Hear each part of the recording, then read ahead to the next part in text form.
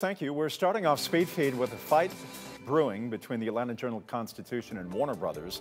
The AJC unhappy about the portrayal of one of its former journalists, the late Kathy Scruggs, in the new Richard Jewell movie. Scruggs was the first to report the FBI was investigating Jewell for the 1996 Olympic bombing. He was, of course, later fully cleared. The newspaper claims the new Clint Eastwood film paints Scruggs as a sex trading object, end quote. The AJC reports it and Cox Enterprises have sent a letter to Mr. Eastwood, the screenwriter, and Warner Brothers demanding a disclaimer that some events and characters in the film are imagined for dramatic purposes, end quote. We'll have more on the Scruggs story, her history, coming up at 6 o'clock in about 28 minutes.